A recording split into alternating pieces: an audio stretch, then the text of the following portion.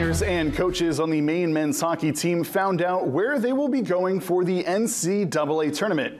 Now they gathered in the Alfond Lounge to watch the selection show. The number seven Black Bears are going to Spring, the Springfield, Massachusetts regional.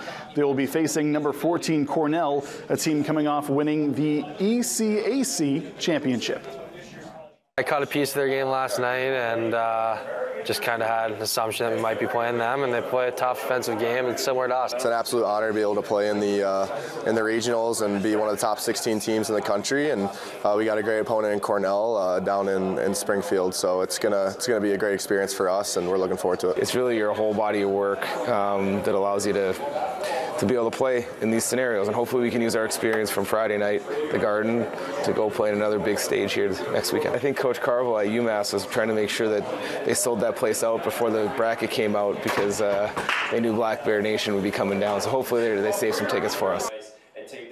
Puck drop between Maine and Cornell is on Thursday at 5.30 p.m. on ESPN News. Now, if the Black Bears advance, they will face either Denver, Denver or UMass for a ticket to the Frozen Four in St. Paul, Minnesota. The regional final is on Saturday at 4 p.m. on ESPN 2.